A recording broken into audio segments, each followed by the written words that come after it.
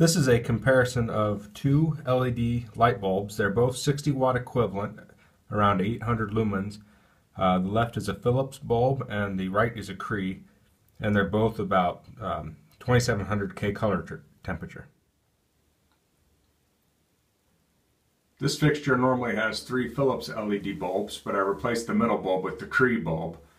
And you can see the has a little bit more even light, although you can't really see it in person. You can kind of see it more uh, on the camera, but uh, overall they have they look about the same, and most people wouldn't know the difference. Between these two bulbs, I would probably go with the Philips because it's a lot cheaper.